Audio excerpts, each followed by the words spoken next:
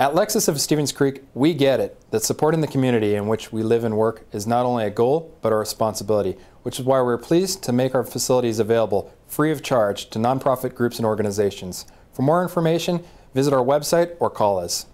You know, Lexus of Stevens Creek really does get it.